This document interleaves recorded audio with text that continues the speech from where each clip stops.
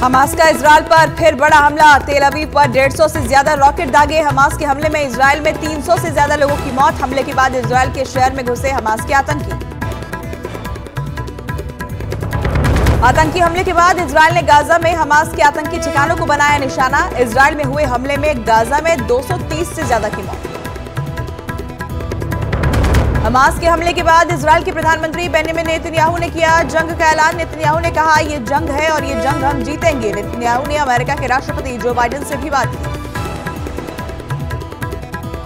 להישמע בקפדנות להנחיות הצבא, להנחיות פיקוד העורף. אנחנו במלחמה ואנחנו ננצח בה.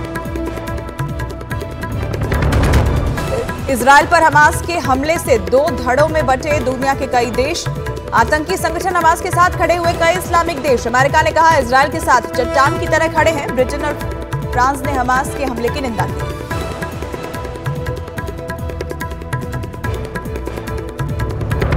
भारत ने इसराइल में मौजूद भारतीय नागरिकों के लिए जारी की एडवाइजरी पीएम मोदी ने किया ट्वीट लिखा, मुश्किल वक्त में इसराइल के साथ खड़ा है भारत। ब्रिटेन ने इसराइल की जवाबी कार्रवाई को सही ठहराया। हमास के हमले के बाद इसराइल में फंसे 27 भारतीय नागरिक। मेघालय के सीएम कोनार्ड संगमा ने ट्वीट कर दी जानकारी। यरूशलम की यात्रा के लिए गए थे मेघालय के 27 लोग।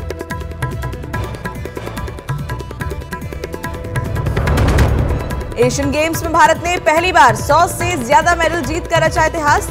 तीरंदाज ओजस देवताले ने तीन गोल्ड मेडल पर लगाया निशाना। ऐतिहासिक उपलब्धि पर राष्ट्रपति मुर्मू और पीएम मोदी ने दी बधाई।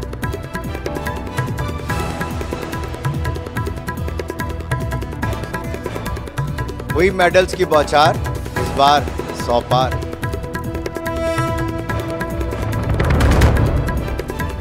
आज से team India cricket world cup के अभियान की करेगी शुरुआत। चेन्नई में ऑस्ट्रेलिया के खिलाफ खेलेगी अपना पहला world cup match.